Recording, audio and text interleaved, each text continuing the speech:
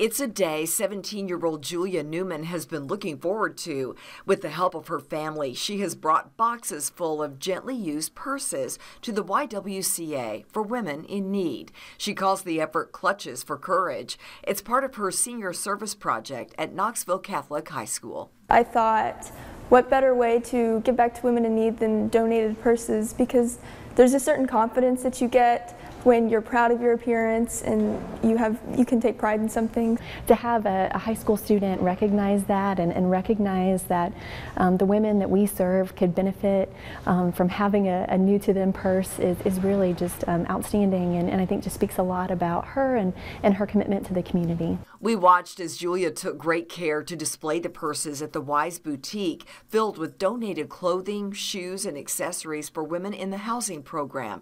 Often they arrive with nothing. Julia set up donation sites at several area businesses and was thrilled when she counted 200 purses. I was shocked. Every week when I'd go check, it was I was completely shocked and it's it's really great that people were so generous and supportive.